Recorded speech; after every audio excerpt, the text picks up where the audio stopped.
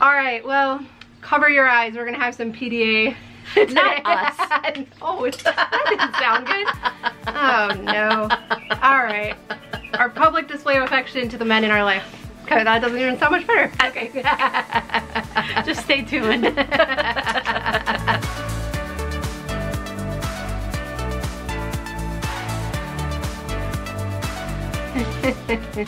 oh man. I don't where do you go from like, there, It's right? supposed to be a family channel. This, this video just got demonetized. Okay, um, good. YouTube has taken it down. All right. If well, you're seeing this, it's yeah. a miracle. yeah, it's still up. Quick, watch it while you can. Oh my goodness. well, hi, I'm Dawn from The Minimal Mom. We usually keep it very G-rated around here, by the way. And spiritual, so that's Oh, what's yeah, on Sundays. interesting about this. Yeah, usually, you know, when my twin sister Diana joins us, we'll talk about something faith related, which we will get to um, as well. After the PDA. yeah. All right, so that'll be coming up in a minute, but it is Father's Day. We would not be here without our father and mother. Thanks, mom, too. Um, Without a little this isn't PDA. getting any better. Um, but I thought it would be good because I think there's a whole book on love and respect. Men need respect. Women need love. Yeah. You know, it's it's very black and white. It's cut and dry. It's very easy, and it's and we know it's not. So we want to share a few tips for showing our husbands respect today because I think we can just always use a refresher and a reminder. Actually, some of you may have seen this. Holly Furtick, who's Steven Furtick's wife from Elevation Church, she actually during quarantine uh, did a course online about Mrs. Better Half, and Mm-hmm. it's still going. Some of you are probably in it because there's 25,000 people. So odds are. if not, you can access the content later. But it was so good. Like it was so smart of her to do something while we're all safe at home with our family And having lots of quality time with our better halves, right? and one thing she said that stood out to me though, she did a whole day on or an evening on respect. And she said, you know, at the end of the day, you can say I love you, which is what most mm-hmm. of us gals need, but you can't really just say I respect you, good Yeah. night. You know, it doesn't really work that way, and it mm-hmm. really is more in our attitudes. It- Yeah. it's really Oh, more yeah. unseen a lot of times. And so she had three really good tips for just showing respect to the guys in our life and it was such a good reminder we all have good intentions Yeah. but then we develop habits and or ways we of get being tired. Yeah Like- life happens and Yeah. we have kids Yeah. and you know and the first one for me is just the, the first tip was checking your tone Hmm. and that's me because it's just so easy to get impatient sometimes Yeah. and and just critical is probably my my deal too so sometimes it's not just the tone it's the words then Yeah, that are bit. in that tone Yeah. um but that was huge for me and so i've been trying so hard to just like not get impatient or let my tone get edgy And I know, like, a lot of times I'll just be, like, questioning things, and not because I don't trust a decision or something, but I'm just like, oh, why? You know, or, but it sounds like I'm, like, Yeah. being critical or undermining, and so I think that's something I've had to be aware of, too, is just, like, just, yeah, how it comes out, or do I need to even ask more, or can I just let it go? Like, do I have to question everything? Like, can I just No, we shouldn't. you know? Yeah. Yeah, probably not. That would probably help a lot, too. And the next one is body language. Mm-hmm. And, uh, you know, so as simple as uh, when your husband or uh, whatever guy you want to demonstrate dad respect toward comes in the room or is talking to you, just turn and face them and actually just engage in that conversation. Mm-hmm. Yeah. You know, or even along with body language is like that just physical touch. Like when you're Oh, yeah. walking by, just like a hand on the shoulder or wherever. Yeah. We'll keep, oh, G rated. G rated. Just kidding. Well, and I know, especially when we're busy, you know, it's like I'm cooking dinner, so I'm like, yeah, uh huh.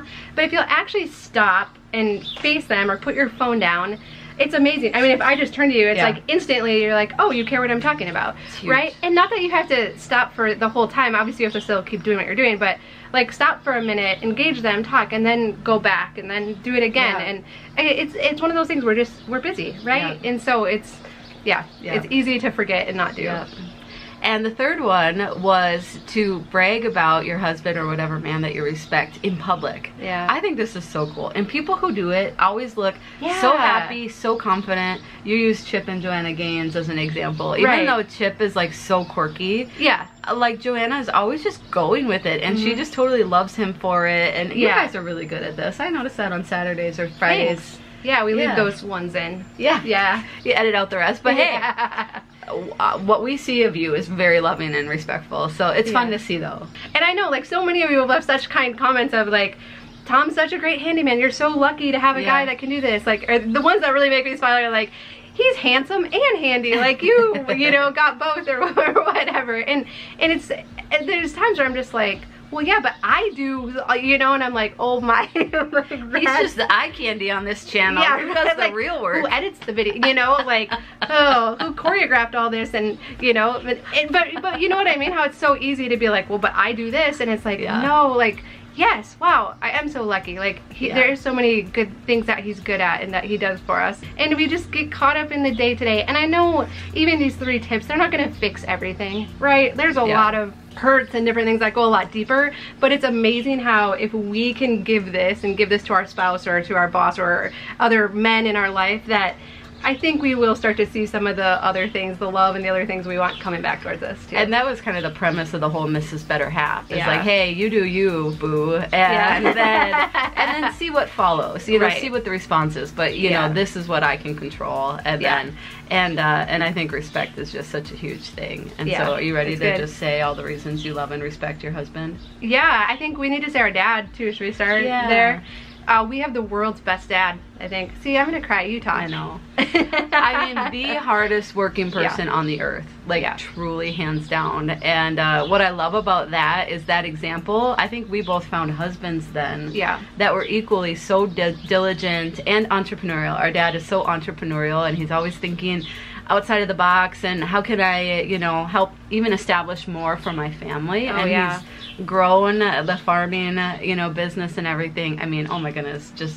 so well, and I think one of my favorite things too is that I mean we worked hard growing up. He worked hard, but then he always said work hard, play hard, and so. Yeah.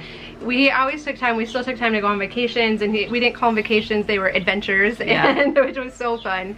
And I mean, we just got. I mean, we got to see a good chunk of the country just through those Yep. adventures, and and so he definitely had a great balance of work hard, play hard, and so it was that was always fun. Well, and those are the things that I really love about my husband too. And so my public declaration of love for Princeton is that I mean he he's probably the second hardest working man in the Yeah. world, and he's so diligent. Um, but at the same time, he's so helpful. Like he is always helping me with the kids, and always like whatever is needed. Like I know no matter what time of day or night it is, if I ask for something, he'll go take care of it for me. It's amazing, and he's been so supportive of me in my career and in growing, you know, as a pastor and in my communication, and is always like, whatever you need, I support you 100%. And so I couldn't have asked for more, and I'm so grateful.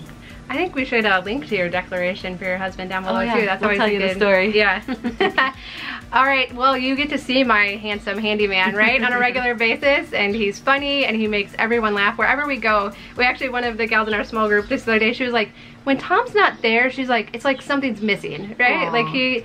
He can be the life of the party, and then he can tell you he hates people, and we all know that's not true, right? But he's hardworking. He'll try new things. A lot of the things he does, he does not know what he's doing, but Yeah. he'll keep working at it till he figures it out. And so, yeah, so we really love and appreciate that about him. Oh, isn't this fun? It is fun. Well, in the comments, why don't you make your public declaration of love toward your husband or dad or, uh, you know, whatever guy in your life that you want to celebrate today, and and we'll celebrate them with you. I mean, that's awesome. So we're actually gonna head over uh, to my parents' house and have a little celebration. Now I made Bundt cake and we made cupcakes and brownies. like we kind of went all out on the desserts. Oh man, it's all dessert today. That's it. yeah. Bring it on. So yeah, so we're gonna go have a little bit of a party and celebrate the cool men in our lives. But we hope that you have a really great Father's Day. We do know that it's not always easy, or if you've lost dads, and um, so it's not always easy either. So we're just thinking about you today and grateful and thankful for all the dads in our lives. All right, we love you, and we'll visit with you again soon. What you doing, Diana?